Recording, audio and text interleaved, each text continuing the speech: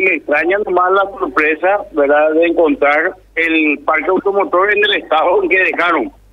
Eh, nosotros habíamos hecho, inclusive, yo tengo filmaciones en vivo, ¿verdad?, que había hecho el día siguiente, donde al día siguiente, ¿verdad?, de asumir el cargo del concejal Sebastián Remesón, que fue como intendente, donde denunciábamos que funcionaba un camión y que otro estaba a media.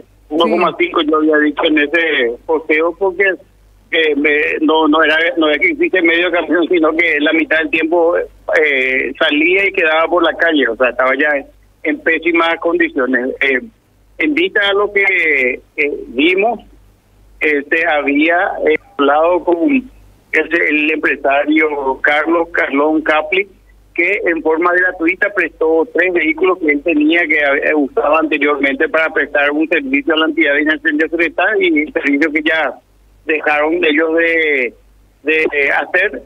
Entonces nos prestó tres camiones, eh, se le pagó un millón y medio, ¿verdad? El chofer del camión porque él, exigió que su sea su propio chofer el que maneje, ¿verdad? Por una cuestión de de mantenimiento de vehículos y se le cargó combustible. Con eso se hizo la recolección.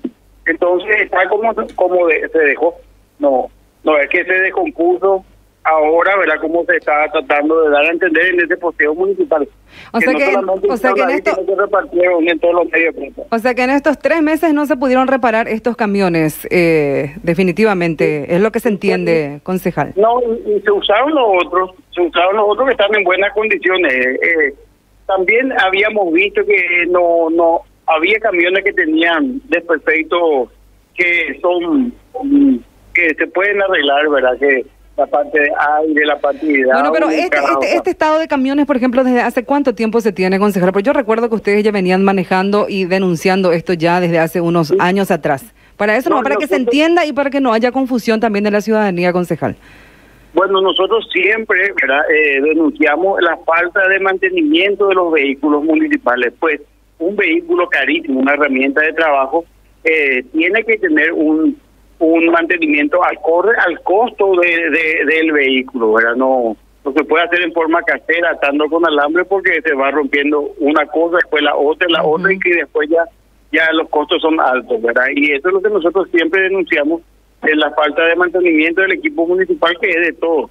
Y cuando falta se reciente, y vamos a suponer que ahora alquilemos los camiones, ¿verdad? Eh, vamos a gastar eh, eh, más o menos 40 millones en pago de, de alquiler, más eh, choferes, más combustible, etcétera, etcétera. Se puede ir a 100 millones de camiones en un mes y con eso se, puede reparar también la, la flota, ¿verdad? Yo creo que tenemos que hablar con el intendente, nosotros vamos a darle todos los recursos, así como le habíamos dado en innumerables ocasiones, para que se ponga a cero y se levante eh, por lo menos los cuatro últimos camiones eh, que adquirimos, hoy los dos camiones hermosos, ¿verdad? Que también donó la EDI, eh, que se pongan en condiciones esos seis por lo menos para que se pueda hacer en forma el servicio de recolección de residuos sólidos. Ahora, eh, entonces, eh, ¿se desmiente de esta forma entonces de que así en estas condiciones, o sea, que, que esta administración que feneció hace poquito de tres meses fue el que dejó en estas condiciones este parque automotor que hoy están eh, publicando desde la municipalidad, eh, concejal? es una información maliciosa, no es real. No es real. No es real.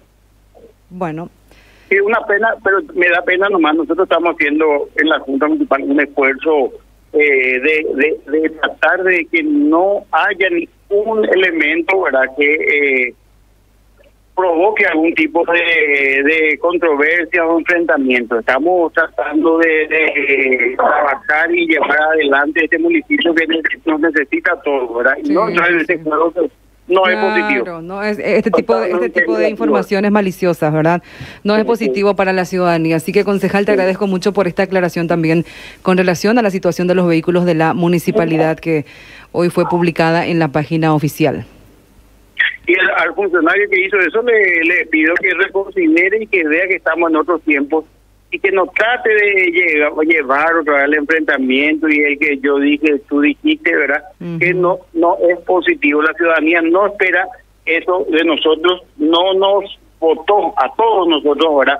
Eh, para que hagamos eso y menos no va a querer que esté contratada una persona que que eh, desde su puesto de trabajo trate, ¿verdad?, de crear cizaña dentro del ambiente eh, de trabajo laboral de la municipalidad. Asimismo, y hubo una reacción adversa a lo que ellos evidentemente pretendían eh, por parte de, de, gran parte de la ciudadanía, por lo que estoy viendo, incluso en los grupos eh, de las redes sociales, concejal.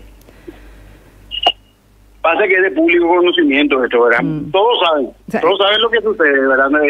lo difícil es de, implantar ¿verdad? una falsedad cuando Encarnación entero sabe lo que ocurre.